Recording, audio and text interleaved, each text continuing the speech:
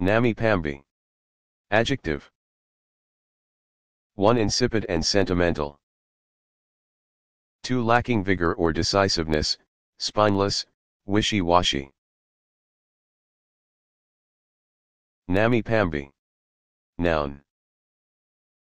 1. One who is insipid, sentimental, or weak. 2. Talk or writing which is weakly sentimental or affectedly pretty. For example, can we find and add a quotation of Macaulay to this entry? Namby Pamby. Verb. 1 to coddle.